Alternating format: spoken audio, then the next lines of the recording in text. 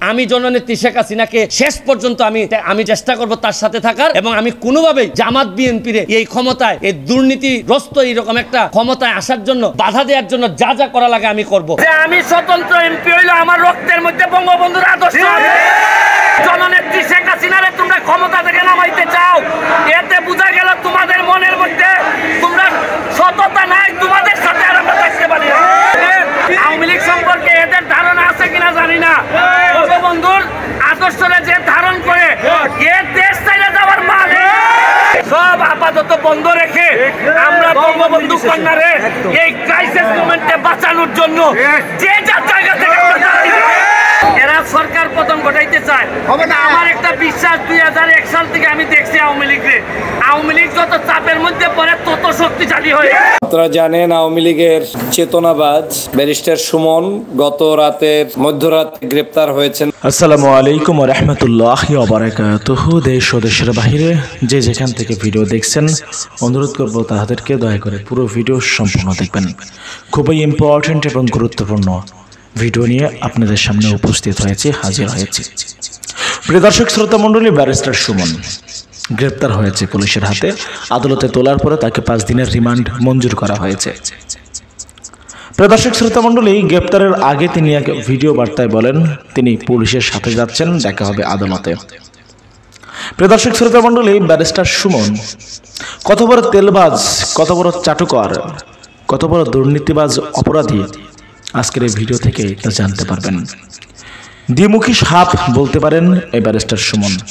এ ধরনের মানুষদের জন্যই আজকে দেশের এই অবনতি এত অধপতন।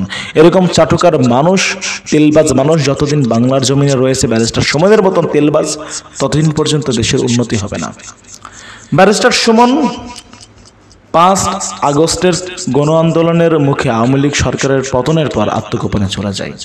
তারপর তিনি বিশ আগস্ট অজ্ঞাত স্থান থেকে এক ভিডিও বার্তায় দুঃখ প্রকাশ করে এবং বলে যে তিনি নাকি কোটা সংস্কার আন্দোলন বা বৈষম্য বিরোধী ছাত্র আন্দোলনের কোটা সংস্কারের পক্ষে ছিলেন।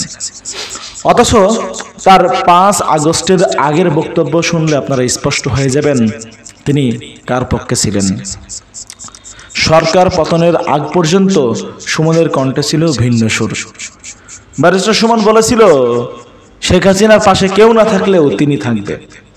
বঙ্গবন্ধু কন্যার পাশে কেউ না থাকলেও ব্যারিস্টার সুমন থাকবে শেষ রক্তবিন্দু পর্যন্ত। কিন্তু এখন তিনি পোল্টি মারছে। চলুন পাঁচ আগস্টের আগে ব্যারিস্টার সুমনের দেওয়া সে বক্তব্যগুলো শুনে শুনে আসা যাক, তারপরে কথা বলি। তবে আমি মনে করি, মনে রাখবেন, প্রকৃত আদর্শের একটা মানুষ কোনোদিন তার আদর্শের মানুষকে এই বিপদে রেখে ক্রাইসিস মোমেন্টে রেখে যাইতে পারে না। যারা যায়, এরা কোনোদিনই কারও লোক ছিল না। এরা একমাত্র এদের ছাড়া কোনো চিন্তা এরা কোনোদিন করে নাই। আমি আপনাদেরকে বলব যে শুনেন, উত্থান পতন, জমিনে কে সম্মানিত হবে তার ফয়সালা হয় আসমানে। উত্থান থাকবে, পতন থাকবে। তারপরে যে যে আদর্শের আছি, এই আদর্শে দুঃসময়ে যদি থাকতে না পারি, না হয় আমার এমপিত্ব যাবে, আমাকে না হয় কেউ আর ফলো করবে না। আমাকে জাতীয় বেইমান বলবেন, বলেন, তারপরও আমি বিশ্বাস করি, আমি জননেত্রী শেখ হাসিনাকে শেষ পর্যন্ত আমি আমি চেষ্টা করব তার সাথে থাকার, এবং আমি কোনোভাবেই জামাত বিএনপিরে এই ক্ষমতায় এই দুর্নীতিগ্রস্ত এইরকম একটা ক্ষমতায় আসার জন্য, বাধা দেওয়ার জন্য যা যা করা লাগে আমি করব। সাধারণ ছাত্ররা যদি আমাদেরকে বিদায় করে দেয়, দিক। কিন্তু সাধারণ ছাত্ররা এই ধরনের নেতৃত্ব তৈরি করে এই ক্ষমতায় আসুক, আমি তো ওয়েলকাম জানাই, আমি তো এদেরই প্রতিনিধি আমি মনে করি। কিন্তু এরা তো জানে না, এরা না আবেগ প্রবণ কইরা কোথায় দেশটা নিয়ে যাচ্ছে। কালকে যদি শেখ হাসিনা যদি না থাকে, পরশুদিন কি আপনি তারেক জিয়া আইন দিবেন? আপনি কি কারে দিবেন? এই যে চোদ্দ জন আর একশো জন সমন্বয়ক আছে তারা এসে ক্ষমতা নিক? তারা তো ক্ষমতা নিতে পারবে না। তারা কার কাছে নিয়ে ক্ষমতা দিবে? এইটাই তো আমি বুঝতে পারি না। তারা ক্ষমতাটা নিয়ে কার কাছে দিবে ক্ষমতা? ক্ষমতা বলো যে আমি অমুকরে দিব চোদ্দ জন বা দেড়শো জন সমন্বয়ক যারা আছে, যারা দাবি করতেছে যে এই তারা এই দেশটারে রাষ্ট্রের সংস্কার করতে চায়, তাহলে তারা এসে বলো, তারা মন্ত্রী হইতে চায় বা তারা ক্ষমতা নিতে চায়, কিন্তু তারা তো আমরা তো বুঝতেছি।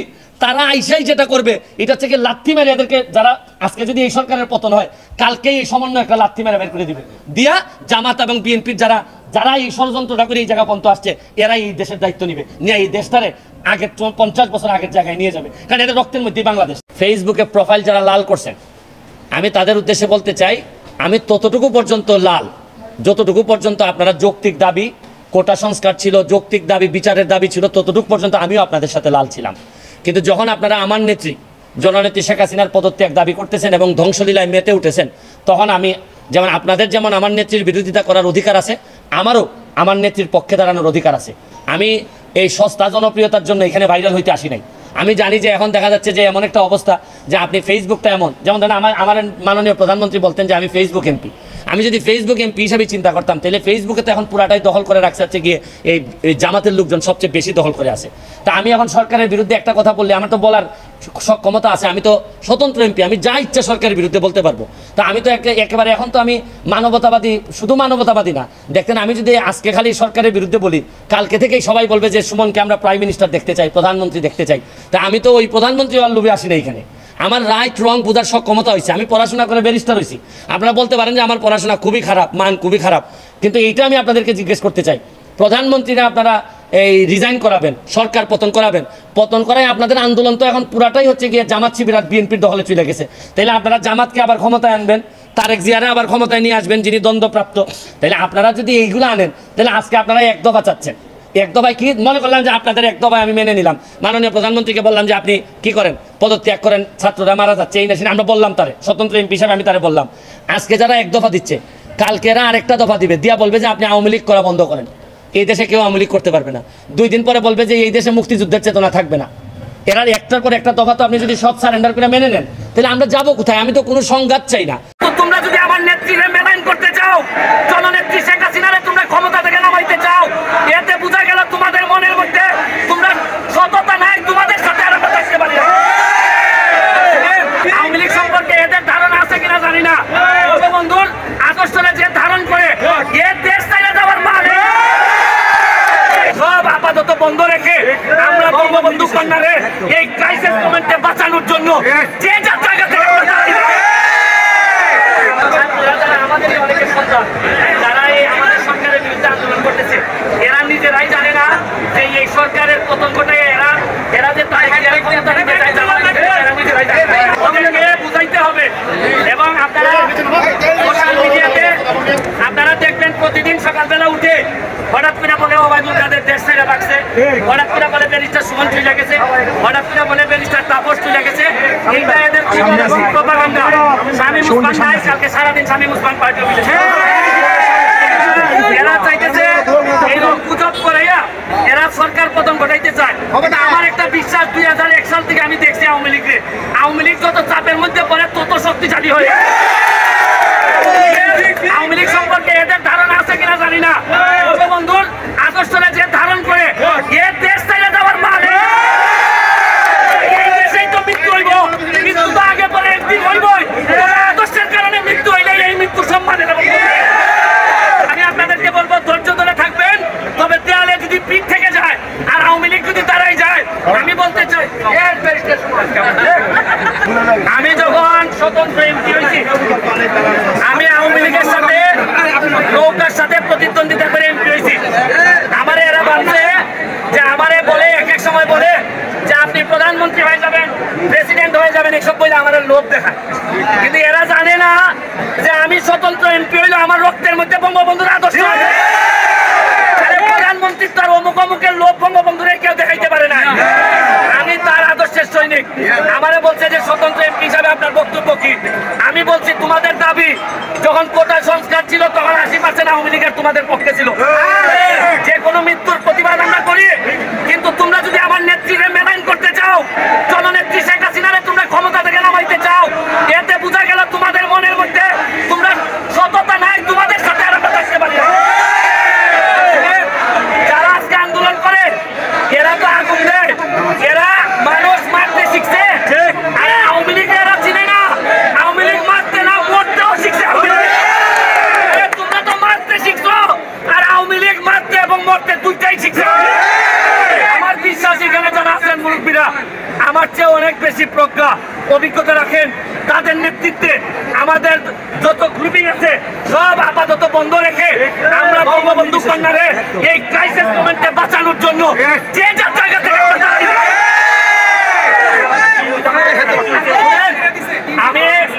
আমি এদেরকে জিজ্ঞেস করছি, তোমরা যে ক্ষমতা নিতে চাও শেখ হাসিনার কাছ থেকে কারা হবা তোমরা? তোমরা এমপি মন্ত্রী কারা হবা?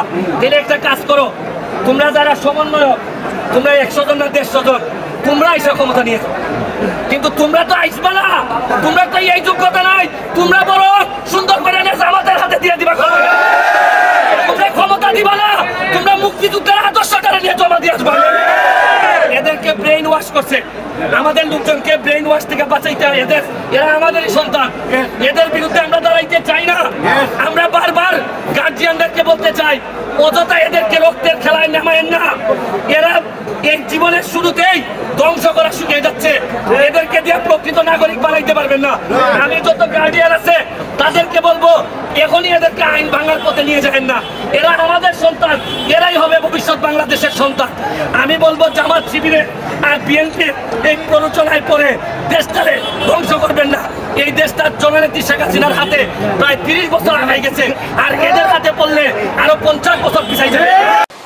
কোটা আন্দোলন, কোটা সংস্কারের আন্দোলন চলতেছে। আপনারা জানেন যে গতকালকেও বিভিন্ন জায়গায় মারামারি হয়েছে। আমার কিছু কথা বলা দরকার। প্রথম যে কথাটা বলতে চাই, যে মাননীয় প্রধানমন্ত্রী, সরকার প্রধান, উনিও কোটা সংস্কারের কথা বলেছেন। যারা আন্দোলন করতেছেন, তারাও একটা যৌক্তিক সংস্কার চাচ্ছেন। তো দুইজনেরই তো চাওয়া এক। তারপরও এত আন্দোলন কেন হচ্ছে? এর মানে হচ্ছে গিয়ে দুইজন দুইজনের প্রতি হয়তো বিশ্বস্ততা কম, অথবা দুইজন দুইজনকে বুঝে উঠতে পারতেছেন না। আমার কথা হচ্ছে যে একজন যদি বলতো যে না, একেবারে কোটা থাকবে না, আরেকজন যদি বলতো কোটা থাকবে, তাইলে না হয় আন্দোলনের মাধ্যমে এটা করা যেত। এখন প্রশ্ন হচ্ছে গিয়ে যে যারা প্রথমে আন্দোলন শুরু করছিলেন, তাদের এই আন্দোলনকে অনেকেই আমরা যৌক্তিক মনে করছি।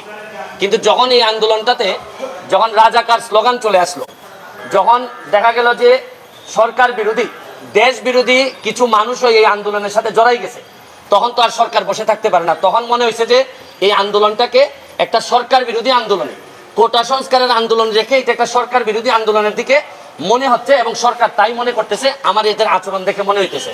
তা আমার কথা হচ্ছে যে আন্দোলনটা ছিল একটা যৌক্তিক কোটা, এই যে যৌক্তিক সমাধানের জন্য সংস্কারে এই সমাধান থেকে এখন চলে যাচ্ছে পুরা দেশ বা এই সরকার বিরোধী আন্দোলনে বা কে রাজাকার, কে, এইসব আন্দোলনে চলে গেছে। আপনারা কোটার কথা বলে সরকার যদি ফেলে দিতে চান, তাহলে তো আমাকেও ফেলে দিবেন, আমি এমপি হিসাবে তো আমিও পরে যাব।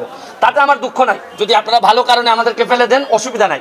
কিন্তু যদি এখন যুদ্ধাপরাধী এরা যদি এসে আমাদেরকে ফেলে দিতে চায়, তাহলে তো আর ফেলে দেওয়ার সাথে সাথে এই যে রক্তাক্ত একটা অবস্থার মুখোমুখি যদি হইতে হয়, তাহলে দেশের জন্য কোনোভাবে এটা সুখকর হবে না। আমার বক্তব্য হচ্ছে, আপনারা অন্তত এক মাসের জন্য এটাকে স্থগিত করেন। আমি ছাত্রলীগের সাবেক নেতা ছিলাম, কর্মী ছিলাম। আর ছাত্রলীগ এবং যারা মুখোমুখি হয়ে গেছে, এটা কিন্তু একটা চক্রান্ত চলতেছে যে ছাত্রলীগকে অজনপ্রিয় করা যায়। কারণ আপনি যখন একটা দুইটা দলকে মুখোমুখি করবেন এখন ছাত্রলীগ যদি কাউরে বাড়ি দেয় অথবা ছাত্রলীগ বাড়ি খায়, তখন কিন্তু হয়তো একটা খারাপ পরিস্থিতির দিকে যাবে, ছাত্রলীগকে আরও অজনপ্রিয় করার একটা প্রক্রিয়া চলতেছে। আমি মনে করি, আমি ছাত্রলীগকেও দাবি জানাব যে আপনারা প্রকৃত অর্থে যদি কাউকে প্রতিহত করেন, তাহলে যদি দেখা যায় যে এই আন্দোলনের বাইরে থেকে কেউ এসে সরকারের ক্ষতি করতে চায়, রাষ্ট্রের ক্ষতি করতে চায়, তাদেরকে আপনারা প্রশাসনের কাছে হস্ত হস্তান্তর করবেন যে এই স্বাধীন দেশে আপনি রাজাকার স্লোগান দিবেন। এইটা কিন্তু মুক্তিযুদ্ধের প্রজন্ম বা আমরা যারা স্বাধীনতার সপক্ষের শক্তি, আমাদের পক্ষে মেনে নেওয়া খুবই কঠিন। এই সময় মনে হয়েছে যে এই যে প্রক্রিয়াটা শুরু হয়েছে, এবং আপনি দেখবেন যে বিভিন্ন জায়গায় এই যে জামাত চক্র যেটা, জামাত শিবির, তারা কিন্তু বসেই থাকে যে কোনো একটা এই আন্দোলনকে কীভাবে তারা ব্যক্তিগত বেনিফিট নেওয়া যায়। আমার কাছে মনে হয়েছে এরা তো সাধারণ ছাত্র, এরা তো এত বুঝে না। এই যে স্লোগান টোগান দেওয়ার মধ্য দিয়া, এরা এরা যেটা অধিকারের আন্দোলনের কথা বলতেছে এটা অধিকারিত কিন্তু এইটার সাথে রাজাকার এই যে স্লোগান আপনি এই স্লোগান দেওয়ার পর বাংলাদেশের কোনো, এই স্বাধীনতার সপক্ষের কোনো মানুষ এই জায়গায় আর থাকবে না। আপনারা জানেন আওয়ামী লীগের চেতনাবাজ ব্যারিস্টার সুমন গত রাতের মধ্যরাতে গ্রেপ্তার হয়েছেন বলে ইতিমধ্যেই সংবাদ মাধ্যমে প্রকাশ পেয়েছে। এই চেতনাবাজ ব্যারিস্টার সুমনের গ্রেফতারের পরবর্তীতে বাংলাদেশের সাধারণ মানুষের মধ্যে বেশ কিছু প্রশ্নের জন্ম দিয়েছে। প্রথম প্রশ্ন হচ্ছে, ব্যারিস্টার সুমন, তিনি শেখ হাসিনাকে রক্ষার জন্য চার তারিখ পর্যন্ত মাঠে ছিলেন এবং চার তারিখে তার যে বক্তব্য, সেই বক্তব্যের কঠোর সমালোচনা করেছেন। এদেশের সাধারণ শিক্ষার্থী, জনগণ। আপনারা জানেন তিনি শেখ হাসিনার পাশে দাঁড়ানোর জন্য তিনি এই খুনকে পর্যন্ত, এই যে গণহত্যা, এই গণহত্যাকে পর্যন্ত রাজনৈতিক ট্যাগ লাগানোর চেষ্টা করেছিলেন। এবং আপনারা এও শুনেছেন যে ব্যারিস্টার সুমন যখন একটা গাড়ি থেকে যাচ্ছে তার এলাকায় কোনো কাজে, তখন তার নেতাকর্মীদের উদ্দেশ্যে বলছেন, আমার কাছেও বিশ রাউন্ড গুলি আছে। তার মানে সব প্রণোদিতভাবে তিনি আমাদের শিক্ষার্থীদের উপরে গুলি করার জন্য তার গাড়িতে বিশ রাউন্ড গুলি নিয়ে তারপরে তিনি তার এলাকায় প্রবেশ করেছেন। যেই অঞ্চলে তিনি আপনার পিকেটিং করতে গিয়েছেন, আওয়ামী লীগের পক্ষে অবস্থান করতে গিয়েছেন, সেখানে তিনি বিশ রাউন্ড গুলি সাথে নিয়ে তারপরে গিয়েছেন এবং উনি নিজে মুখে বলেছেন, নেতাকর্মীদেরকে আমার কাছেও বিশ রাউন্ড আছে, আর তোমাদের কার কাছে কি আছে? এই চেতনাবাজদেরকে যদি বাংলাদেশের কোনো আইন, আদালত ফাঁক ফোকর দিয়ে বের হয়ে আসে, তাহলে এই শহীদই মানুষের রক্তের সাথে বেইমানি করা হবে। যারা মৃত্যুবরণ করেছে, তাদের আত্মা কষ্ট পাবে এবং বাংলাদেশের এই স্বাধীনতা যে একটি অর্জন হয়েছে, এই স্বাধীনতা ভুলণ্ঠিত হবে, প্রিয় বন্ধুরা আমার। এরা হচ্ছে স্বৈরাচার, শেখ হাসিনার দালাল, তাদের দোসর এবং শেখ হাসিনার তিনশো আসনের এমপি যারা ছিলেন। আপনারা অনেকে মনে করেন যে কেউ কেউ স্বতন্ত্র হয়েছে। এই স্বতন্ত্র টতন্ত্র সবকিছুই হয়েছে। শেখ হাসিনার যারা দোসর এবং দালাল, তারাই হয়েছে। যাদেরকে ভিন্নভাবে এই জায়গায় নিয়ে আসা হয়েছে, শুধু এ বি সি এইটার একটা তালিকা করার জন্য। সরাসরি নৌকা, সরাসরি নৌকার লোক কিন্তু ভিন্ন মার্কা।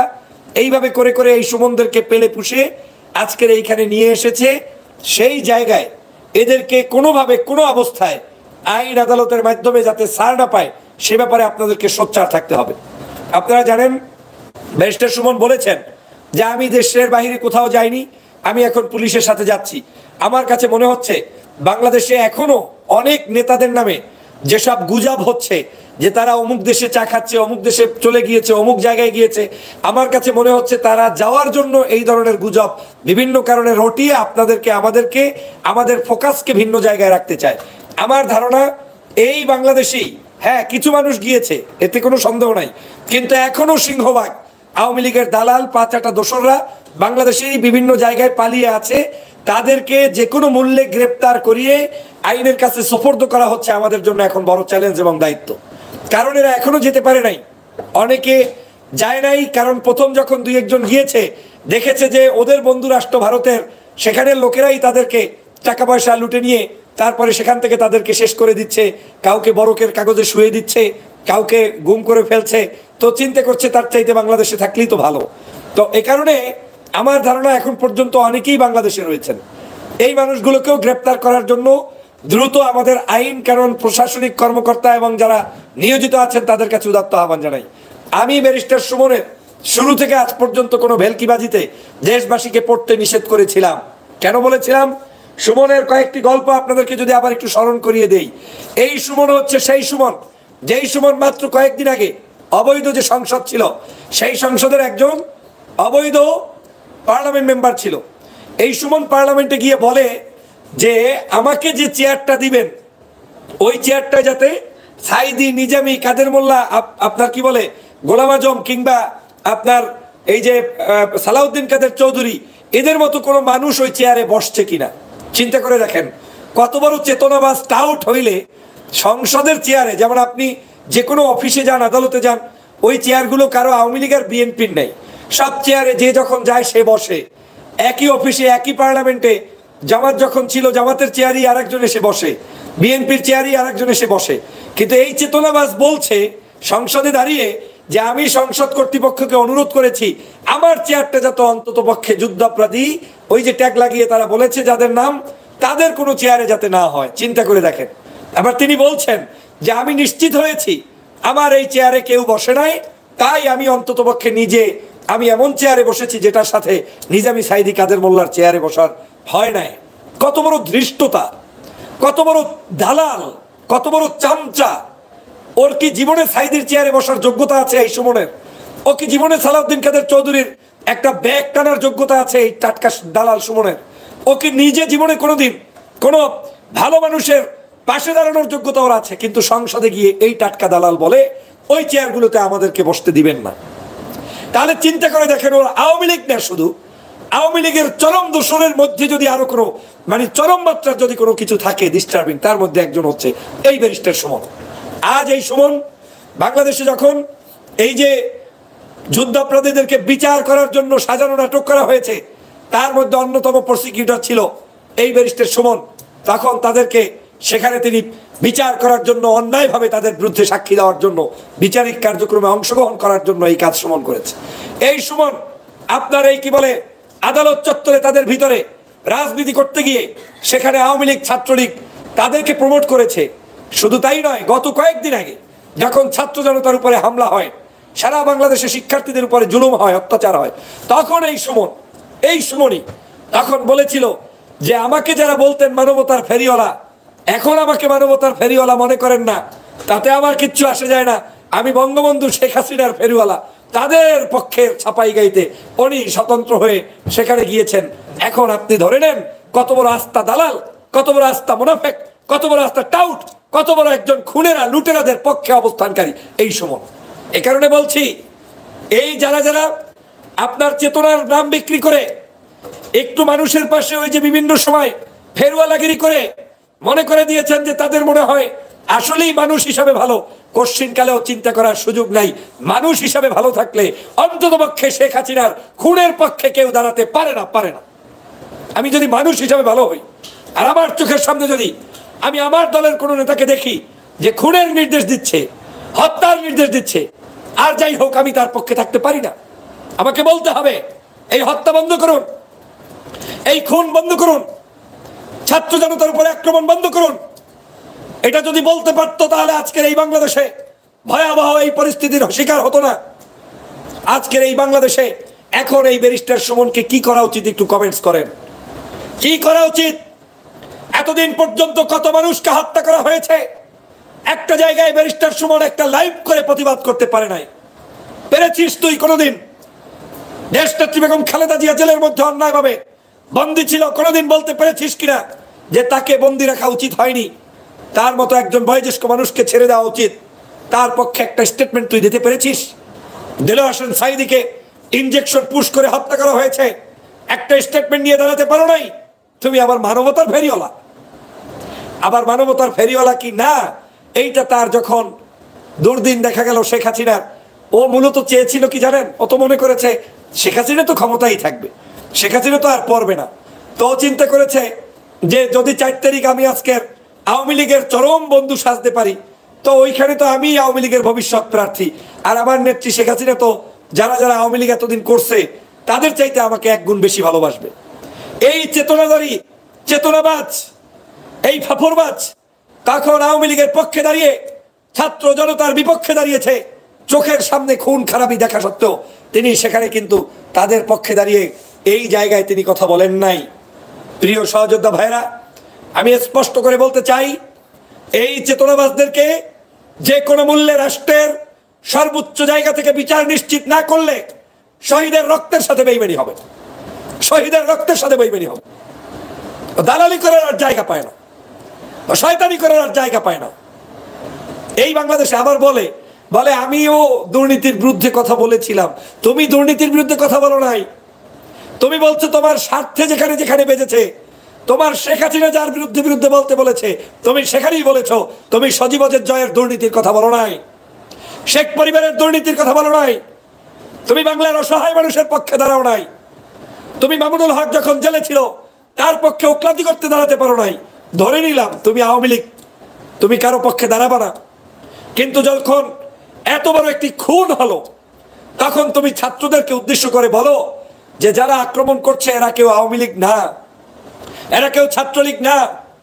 এরা ভিন্ন কেউ এইখানে ঢুকেছে।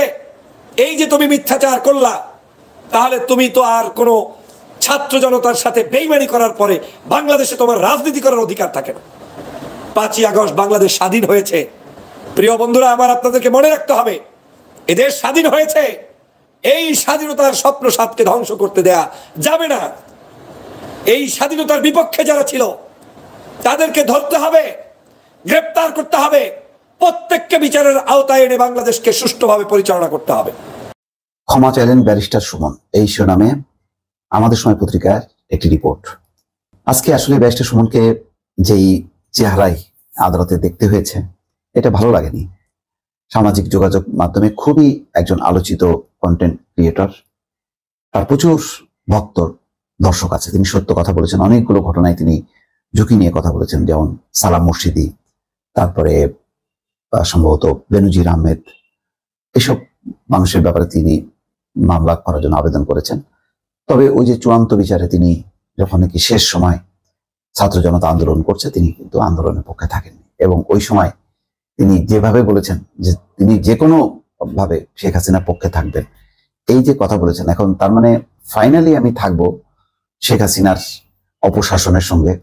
শেখ হাসিনার দুষ্কর্মের সঙ্গে, আর আমি কিছু কিছু মানে ইস্যু নিয়ে আমি লড়াই করব, এটা এক ধরনের স্ববিরোধিতা এবং প্রতারণা। তো সুমন মানে জায়গাটা ঠিক রেখে এই ধরনের কাজ করছিলেন এবং সাধারণ মানুষ বা দর্শকরা তারা খুব আমোদিত হতেন। তার বলার একটা আঞ্চলিক একটা ঢং আছে, সেই ঢংটাও সবার কাছে খুব জনপ্রিয়তা পেয়েছিল। যেহেতু ওই সমস্ত ইস্যুগুলো খুব পপুলার ছিল পপুলার ইস্যু নিয়ে তিনি কাজ করতেন। কিন্তু ফাইনাল ফাইনাল রাউন্ডে কি? আমি মূল জায়গাটা যদি আমি ঠিক না করি, তাহলে তো এই সমস্ত কিছু আমার বলা কোনো কাজে আসলো না। তারপরে তার এইরকম রাজনৈতিক ব্যবস্থায় তাকে নির্বাচন করা উচিত হয়েছে। উচিত হয়নি। এই রাজনৈতিক মেইন বিষয়টা যে আমি এই জন্যই বলছি যে মূলটা আমি ওখানে আমি আপোষ করলাম। বাকি জায়গায় ছুটকা ফুটকা জিনিসগুলি নিয়ে আমি খেলাধুলা করলাম। এটা টিকলো না। যাই এখন আদালতে কি হয়েছে? আদালতে আইনজীবীদের কাছে ক্ষমা চেয়েছেন, তিনি দুঃখ প্রকাশ করছেন। কেন দুঃখ প্রকাশ করলেন? পাঁচ দিনে তার রিমান্ড হয়েছে। মামলা তদন্ত কর্মকর্তা মিরপুর মডেল থানার সাব ইন্সপেক্টর আব্দুল হালি- হালিম ব্যারিস্টার সুমনের দশ দিনের রিমান্ড আবেদন করেন। ঢাকার মেট্রোপলিটন ম্যাজিস্ট্রেট জাকির হোসেন শুনানি শেষে সুমনের পাঁচ দিনের রিমান্ড মঞ্জুর করেন। রিমান্ড মঞ্জুরের পর ঢাকা মহানগর দায়রা জজ আদালতের প্রসিকিউটর ওমর ফারুক ফারুকিকে উদ্দেশ্য করে ব্যারিস্টার সুমন কথা বলতে চাইলে তিনি কথা বলতে রাজি হন এই সময় সুমন বলেন, আপনার সঙ্গে আলাদা করে কিছু বলব না, স্যার। আপনার মাধ্যমে সব আইনজীবীর কাছে দুঃখ প্রকাশ করছি। আমি খুব সরি, স্যার। এর আগে যুবদল নেতা ও মিরপুর বাঙালিয়ানা ভোজের সহকারী বাবুর্চি হৃদয় মিয়া হত্যা চেষ্টা মামলায় সোমবার রাতে সাবেক এমপি ব্যারিস্টার সাইদুল হক সুমনকে গ্রেপ্তার করে মিরপুর মডেল থানার পুলিশ। গ্রেপ্তার হওয়ার আগে তিনি দিবাগত রাত একটা একুশ মিনিটে ফেসবুকে নিজের ব্যক্তিগত ভেরিফাইড আইডি থেকে ব্যারিস্টার সুমন লেখেন আমি পুলিশের সঙ্গে যাচ্ছি, দেখা হবে আদালতে। দোয়া করবেন সবাই, তাকে রাতে পল্লবী থানায় রাখা হয়, এরপর সকালে তাকে আদালতে হাজির করা হয়।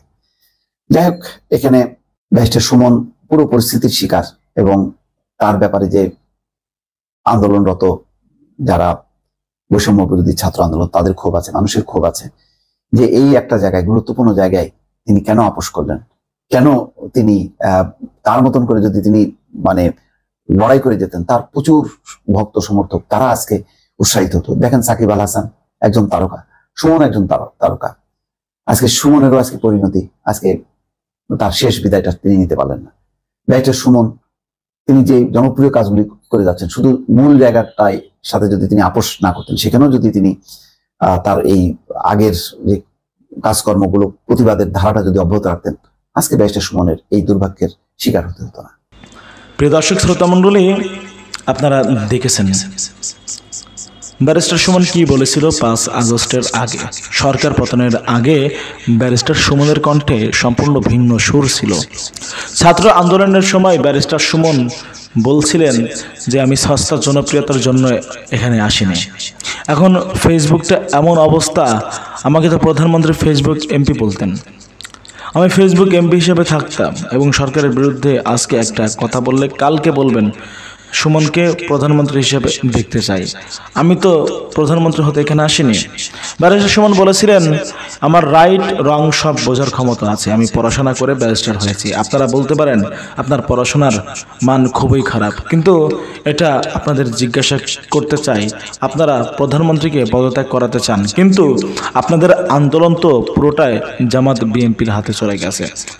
তাইলে আপনারা জামাতকে আবার ক্ষমতায় নিয়ে আসবেন? তারেককে ক্ষমতায় নিয়ে আসবেন, তিনি তো দ্বন্দ্বপ্রাপ্ত। এক দফার সমালোচনা করে সুমন আরও বলেছিলেন, আজকে আপনারা এক দফা চাচ্ছেন, আপনাদের এক দফা কি? মনে করেন, আপনাদের এক দফা আমি মেনে নিলাম, প্রধানমন্ত্রীকে আপনি পদত্যাগ করেন। ছাত্ররা মারা যাচ্ছে। স্বতন্ত্র এমপি হিসাবে আমি তাকে বললাম আজ যা এক দফা দিচ্ছেন কালকে, তারা আরেকটি দফা দিয়ে বলবেন, আপনি আওয়ামী লীগ করা বন্ধ করেন। এদেশে কেউ কি আওয়ামী লীগ করতে পারবে না? দুদিন পরে বলবে, দেশে কোনো মুক্তিযুদ্ধ চেতনা থাকবে না। এদের একটার পর একটা দফা সারেন্ডার করে মেনে নেন। তাহলে আমরা যাব কোথায়? আমরা তো সংঘাত চাই না। আমি একটি প্রাণহানিরও পক্ষে নয়। তবে আমি চাই না শেখ হাসিনার বিপক্ষে যেতে ব্যারিস্টার সুমনের এই বক্তব্য নিয়ে আপনারা কি বলতে চান? ভালো থাকবেন। আল্লাহ হাফেজ।